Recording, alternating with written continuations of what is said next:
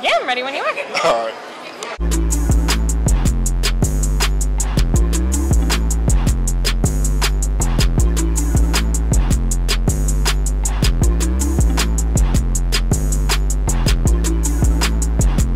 What's up, YouTube? It's PopTech. I'm here with Hayden. Hi. Hi, we're at the Triad Anime Con.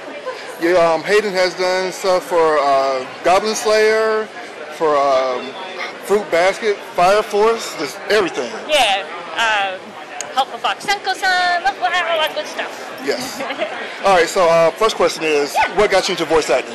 Um, I started in musical theater and show choir when I was very little, um, and I've always been super interested in the performing arts. I used to, at like age three, I used to get up at like my sister's like piano recital. It's like I want to sing, I want to do things.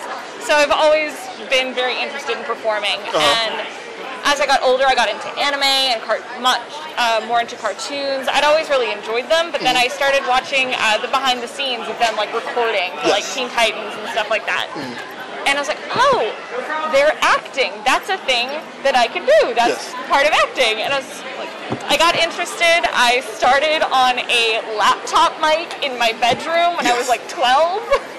And um, I just kept practicing. I started taking um, voiceover specific classes uh, to work on my acting, work on just mic technique, learning like the ins and outs of voiceover. And I've been in and out of classes since since I was 12. So I'm 26 now. So I've just been doing an interview.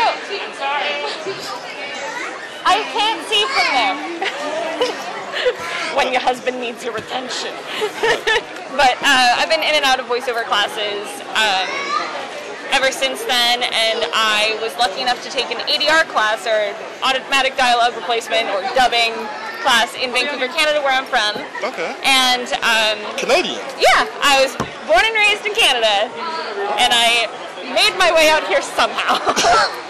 but um, I took an ADR class with the studio Azure Productions, and they liked me enough that they put me on their list for auditions. I auditioned, booked a part, uh, one of the lead characters, and I just kept booking with them through their audition process. And eventually, I got myself together and I moved down to Texas because I had a chance to just audition at Funimation. And uh, the wonderful Tia Ballard auditioned me. She kept me on her roster, and then I started getting brought in for uh, bits and Walla, so all the background voices, and um, it just kind of snowballed from there. I got, uh, I auditioned for Goblin Slayer, and it just kind of exploded from there, and it's just been snowballing ever since. That's- um, you do dice commission work. Yes. Uh, what's your favorite set of dice that you ever made? Oh, um, I made a car- I made a set of dice. Um, ooh, ooh, I've made so many fun ones. Um, I made a set of dice based on my D and D character.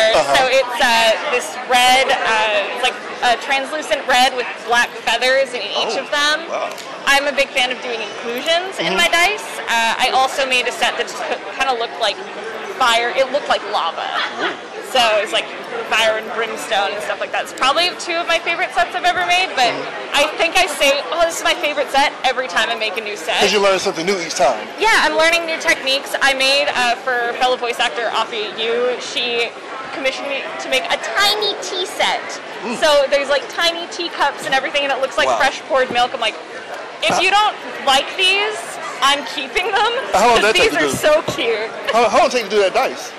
Pardon me? The, the teacup one, how long did it do it? Oh gosh. Um, in total, like the pour time, it took maybe an hour uh, per side, but um, in total with the curing time, about three days. It's not too bad. Yeah, plus polishing time, so about three, four days.